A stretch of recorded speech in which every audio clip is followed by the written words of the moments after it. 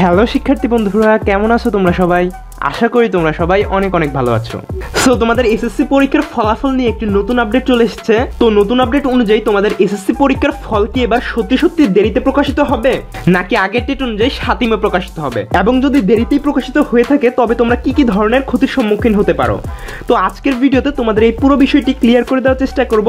এবং ভিডিওর লাস্টে থাকবে শিক্ষামন্ত্রীর দেওয়া তোমাদের জন্য দুটি দারুণ সুসংবাদ এবং গণিতে কিছু কিছু বোর্ডে পাশের হার নিয়ে একটি দুঃসংবাদ। তো সবকিছু জানতে ভিডিওটি স্কিপ না করে সম্পূর্ণ দেখতে থাকো। মূলত এবছর তোমাদের এসএসসি এর সম্মানের পরীক্ষা শেষ হয় সাতাইশে ফেব্রুয়ারি এবং বোর্ড থেকে তোমাদের রেজাল্ট পাবলিশ হওয়ার কথা ছিল সাতই মে। এবং শিক্ষা বোর্ডগুলো সাতই মে ফল প্রকাশ হবে এমন ধারণা মাথায় রেখে কাজও করে যাচ্ছে। কিন্তু তোমরা জানো, শিক্ষা প্রতিষ্ঠানগুলোর ছুটি তৃতীয় ধাপে আবারও বাড়ানো হয়েছে। এবং ধারণা করা হচ্ছে, এ ছুটি ঈদুল ফিতর পর্যন্ত থাকবে। আর সত্যি সত্যি যদি তাই হয়, তবে কি হবে? শিক্ষার্থীরা বা কি ধরনের ক্ষতির সম্মুখীন হতে পারে? ঢাকা শিক্ষা বোর্ডে খোঁজ নেওয়ার পর জানা গেছে, এসএসসি পরীক্ষার মূল খাতার প্রায় আশি পার্সেন্ট দেখা শেষ হয়েছে। কিন্তু এখনও বাদ রয়েছে তোমাদের ওই মার্কশিট দেখা এবং প্র্যাকটিক্যাল পরীক্ষার মার্ক যোগ করা। আর শিক্ষা প্রতিষ্ঠান এবং যানবাহন চলাচল বন্ধ থাকার কারণে অনেক শিক্ষক ব্যবহারিক পরীক্ষার নাম্বার এবং পরীক্ষার খাতা শিক্ষা বোর্ডে জমাও দিতে পারছে না।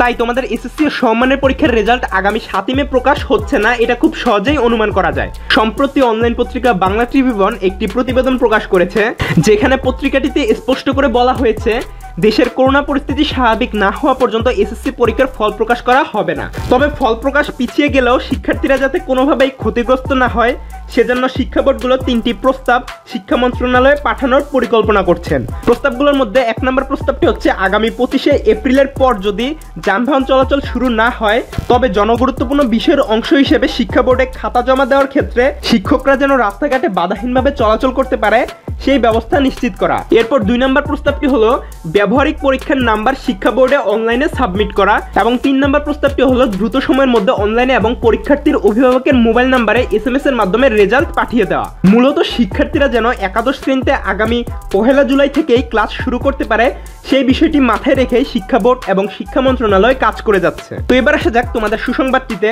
তোমরা তো জানোই, এবার কিছু কিছু বোর্ডে ভুল প্রশ্নে পরীক্ষা হওয়ার ঘটনা ঘটেছিল। তাই এই বিষয়ে শিক্ষামন্ত্রী জানিয়েছেন, শিক্ষার্থীদের ক্ষতি হয় এমন কোনো কিছু করা হবে না। এই সমস্যাটিকে ছোট করে দেখবার সুযোগ নেই। কিন্তু আমাদের চেষ্টাটা হলো বারবার নির্দেশনা দেওয়া হচ্ছে যে, এই যে নির্দেশনা, এটিকে একদম সঠিকভাবে পালন করতে হবে। আমরা এটুকু নিশ্চিত করছি যে পরীক্ষার্থীরা যেন কোনোভাবে ক্ষতিগ্রস্ত না হয়। এটুকু আমরা নিশ্চিত করছি। তো তোমরা যারা এই বিষয়টি নিয়ে চিন্তিত ছিলে, আশা করি তোমাদের চিন্তা দূর হয়ে গেছে। তাছাড়া তোমরা অনেকে আমার বিভিন্ন ভিডিওতে কমেন্ট করে জানতে চেয়েছিলে, এবার সিজিপিএ গ্রেডিং পদ্ধতিতে তোমাদের রেজাল্টটা প্রকাশ করা হবে কিনা এবং তোমাদের পাস মার্কটা কি চল্লিশে থাকবে কিনা।